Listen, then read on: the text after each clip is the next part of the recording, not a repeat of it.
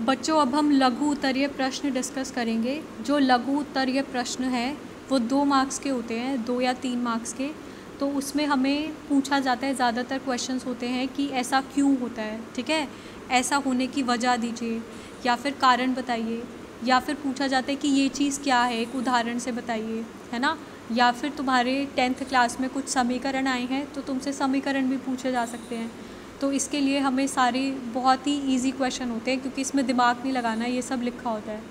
ठीक है? एक बार हम जो थोड़े से मुश्किल क्वेश्चन है वो डिस्कस करते हैं। तो सबसे पहला प्रश्न है कि कुछ अभिक्रियाएँ दी हुई हैं, इनके समीकरणों को पूरा करना है। तो सबसे पहला है कि आयरन और वाटर क्या बनाएगा? जो आयरन है, जब उसमें पानी लग जाता है तो जंग बन जाती है ना? और जंग का फॉर्मूला क्या होता है? F E three O four ठीक है? और इसके साथ क्या निकलेगा? हाइड्रोजन गैस निकलेगी। समझ में आ गया? जब भी आयरन और वाटर रिएक्ट करेंगे तो क्या बनाएँगे? F E three O four plus H two इसके बाद दूसरा क्वेश्चन है कि जब कैल्शियम और वाटर मिलेंगे तो क्या बनाएँगे? ये तो हम क्वेश्चन वन में भी देख सक, देख चुके हैं कि जो कैल्शियम है, वो क्या होता है? उच्च गुल, गलनांक वाला यौगिक बनाता है और जल में विलय होता है, ठीक है?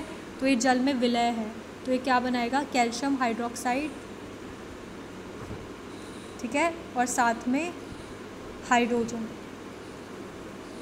समझ में आ गया?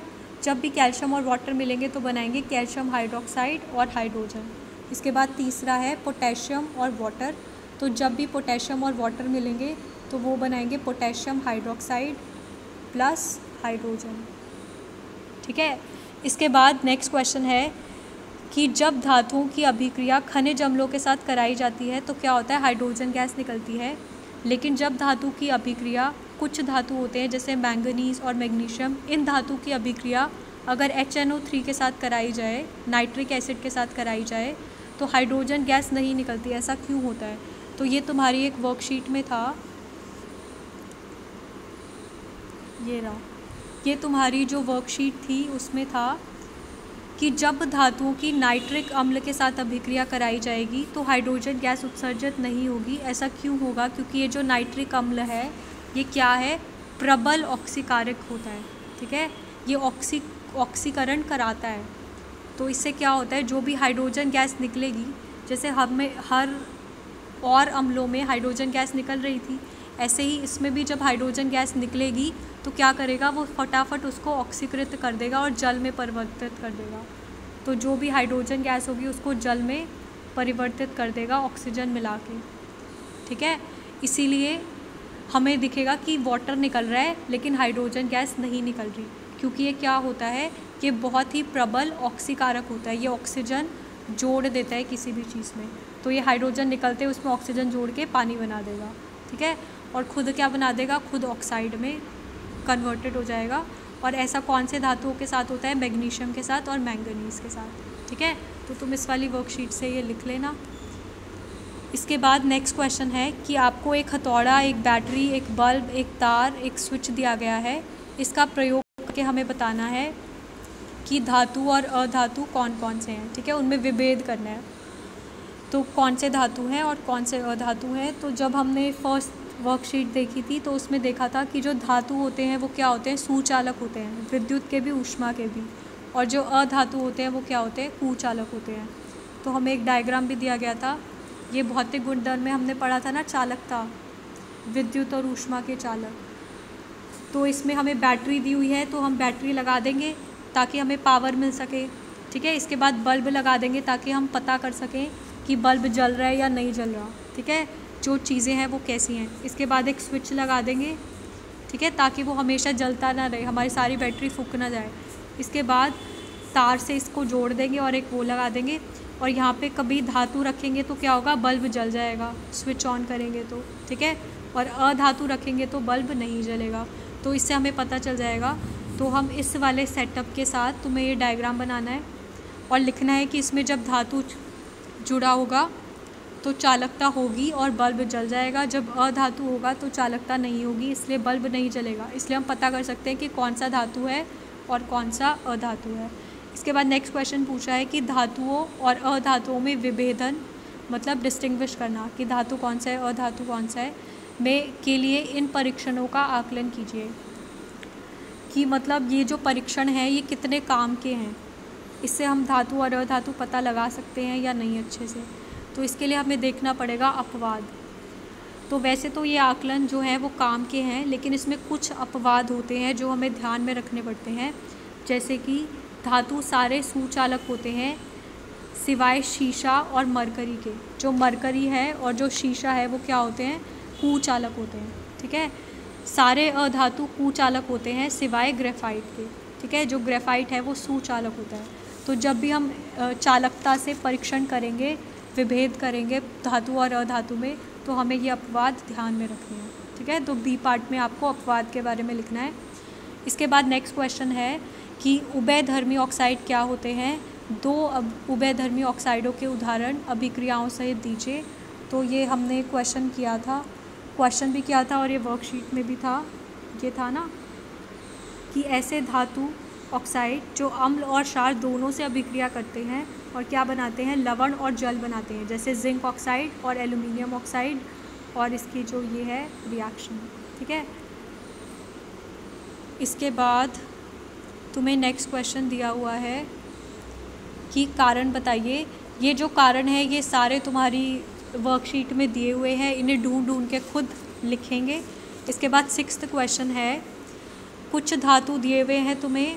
और इस तरफ़ धातु दिए हुए हैं और इस तरफ़ धातु ऑक्साइड दिए हुए हैं, ठीक है? हमें बताना है कि जिंक मैग्नीशियम और कॉपर के धात्विक ऑक्साइडों को निम्न धातुओं के साथ गर्म किया जाए तो क्या होगा? तो ये बहुत इजी है कि हम सक्रियता की श्रेणी देखेंगे सबसे पहले। जब भी ऐसे क्वेश्चन आते हैं तो हम सक्रियता की श्रेणी देखते हैं, ठीक है? तो हम इसको देखेंगे। तो हमें कौन कौन से धातु दिए गए थे? सबसे पहले हमारे पास है जिंक तो हम देखेंगे जिंक कहाँ पे है? जिंक है यहाँ पे। दूसरा क्या है हमारे पास? मैग्नीशियम और तीसरा क्या है? कॉपर तो सबसे ज़्यादा अभिक्रियाशील क्या है? मैग्नीशियम उसके बाद क्या है? जिंक और उसके बाद क्या है? कॉपर मतलब जिंक और कॉपर को जो है मैग्नीशियम हटा देगा। ठीक है? इसको जो है विस्थापित कर देगा। जो जिंक है वो कॉपर को विस्थापित कर देगा। ठीक है? लेकिन जो कॉपर है वो सबसे कम अभिक्रियाशील है, वो इन दोनों का कुछ नहीं कर पाएगा, ठीक है? तो अब हम क्वेश्चन देखते हैं। तो हम यहाँ पे भी एक बार लिख लेते हैं, मैग्नीशियम सबसे ज़्यादा, फिर जिंक और उसके बाद कॉपर तो तुम्हें हमेशा हर क्वेश्चन में याद रखना है कि जो कॉपर होगा वो ज़्यादातर सबसे कम अभिक्रियाशील है, वो किसी को नहीं हटा पाएगा। और जो जिंक है वो काफ़ी ज़्यादा अभिक्रियाशील होता है, ठीक है? और मैग्नीशियम जिंक से भी ज़्यादा। तो जिंक को जिंक ऑक्साइड में तो हटाने की ज़रूरत है नहीं। जब मैग्नीशियम और मैग्नीशियम ऑक्साइड होगा, तब भी ज़रूरत नहीं है। और कॉपर भी, कॉपर ऑक्साइड में से कॉपर को क्या हटाएगा, है ना? लेकिन जिंक क्या मैग्नीशियम ऑक्साइड को हटा सकता है? जिंक मैग्नीशियम ऑक्साइड को नहीं हटा सकता क्योंकि जिंक कम है मैग्नीशियम ऑक्साइड से। तो ये नहीं हटा सकता, कुछ भी नहीं होगा। लेकिन अगर जिंक कॉपर ऑक्साइड के साथ अभिक्रिया करेगा तो ये कॉपर को हटा देगा क्योंकि जिंक कॉपर से ज़्यादा अभिक्रियाशील है। तो यहाँ पे वो कॉपर को विस्थापित कर देगा। जो मैग्नीशियम है, वो जिंक को भी हटा देगा और कॉपर को भी हटा देगा। लेकिन जो कॉपर है, वो ना जिंक जिंक को तो हटा ही नहीं पाएगा और ना ही मैग्नीशियम को हटा पाएगा। समझ में आ गया? हम अभिक्रियाशीलता देखते हैं कि कौन सा जो पदार्थ है, वो ज़्यादा अभिक्रियाशील है तो वो विस्थापित कर सकता है। अगर कम अभिक्रियाशील है तो वो विस्थापित नहीं कर सकता। तो जो कॉपर है वो सबसे कम अभिक्रियाशील है तो वो किसी को विस्थापित नहीं कर सकता। जो मैग्नीशियम है वो सबसे ज़्यादा अभिक्रियाशील है तो वो इन दोनों को विस्थापित कर देगा। लेकिन जो जिंक है वो कॉपर को विस्थापित कर सकता है जिंक को विस्थापित नहीं कर सकता।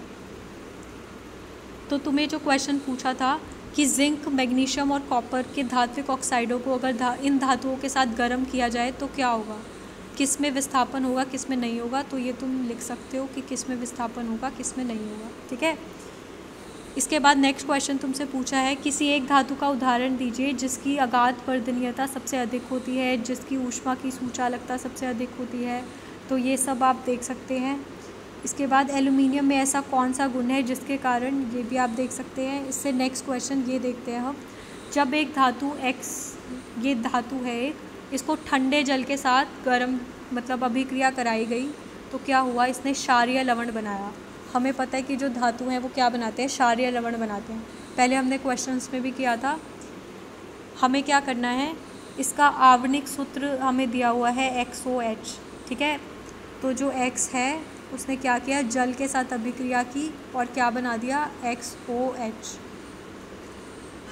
इसके बाद जब इस, इससे एक गैस भी निकली X O H plus hydrogen मतलब जो भी गैस है। ये गैस जो है, ये क्या पकड़ रही है? आग पकड़ रही है। तो हमें बताना है कि एक्स क्या है एक्स ओ एच क्या है और गैस क्या है। तो हम इसको आसानी से बता सकते हैं कि जो ऐसा धातु है जो गैस पकड़ लेता है, हमने ऐसे दो धातु पढ़े थे जिनको उसमें रखा जाता है। कैरोसिन में रखा जाता है, क्योंकि वो क्या करते हैं? आग पकड़ लेते हैं, है ना? ये देखो, ठंडे जल के साथ क्रियाशील होते हैं और ये हवा के साथ भी आग पकड़ लेते हैं। तो इसमें क्या आ सकता है? सोडियम, जो पोटेशियम है, जो कैल्शियम है, ये सब आ सकता है, ठीक है? तो जब हम इस क्वेश्चन का आंसर करने जाएँगे तो हम क्या लिखेंगे? या तो हम लिखेंगे कि एक्स जो है, वो क्या है? एन ए है। ठीक है? जो y है, वो क्या है? एन ए ओ एच है ना? और z क्या है? हाइड्रोजन तो हम ये लिख सकते हैं, ये इसका बिल्कुल सही आंसर होगा। आप एन ए की जगह, दोनों जगह, यहाँ पे और यहाँ पे के भी लिख सकते हैं, ठीक है? पोटेशियम और सोडियम दोनों ही क्या होते हैं? ठंडे जल के साथ अभिक्रिया करते हैं और क्या होता है? एक ऑक्साइड बनाते हैं जो क्षारीय है, ठीक है? सोडियम ऑक्साइड या फिर पोटेशियम ऑक्साइड और इसको जब हम जलाएँगे, इसके साथ एक हाइड्रोजन गैस निकलेगी, एक गैस निकलेगी जिसको जलाएँगे तो वो आग पकड़ लेगी, ठीक है? तो वो कौन सी गैस है? हाइड्रोजन तो ये इसका आंसर है। इसके बाद नेक्स्ट क्वेश्चन है कि तुम्हें एक संरचना दी हुई है। तो ध्यान से देखेंगे सब बच्चे। तुम्हें ये संरचना दी हुई है छोटी सी। और तुम्हें पूछा गया है, सबसे पहले रासायनिक सूत्र लिखो। तो रासायनिक सूत्र लिखने के लिए तुम्हारे पास रासायनिक सूत्र में बस जो जो चीज़ें लिखी हुई हैं, उसको कर देते हैं एन ए टू ओ ठीक है? पहले धातु आता है, फिर अधातु आता है। तो इसका रासायनिक सूत्र हो गया एन ए टू ओ ठीक है? इसके बाद तुमसे पूछा है कि इसमें धातु कौन सा है? धातु है एन ए और अधातु है ओ एक मिनट। इसके बाद इसमें ऋण आयन कौन सा है? जो ऋण आयन है, वो कौन सा होगा जिसके पास कमी होगी, है ना? जो धा, जो इलेक्ट्रॉन लेगा तो वो है ओ टू माइनस इसके बाद धन आयन कौन सा होगा? धन आयन वो होगा जिसके पास एक्स्ट्रा होंगे, है ना? जो धातु होंगे, वही धन आयन होंगे, है ना?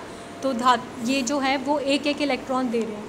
हमने देखा इसमें एन जो है, वो एक इलेक्ट्रॉन दे रहा है, और ये वाला एन भी एक इलेक्ट्रॉन दे रहा है। और ये जो ऑक्सीजन है, इसके पास दो इलेक्ट्रॉनों की कमी है। तो ऋण आयन होगा ओ टू माइनस और धन आयन होगा एन ए प्लस ठीक है बच्चों? अभी हम जो दीर्घ उत्तरीय प्रश्न है, वो हम करेंगे थोड़ी देर में।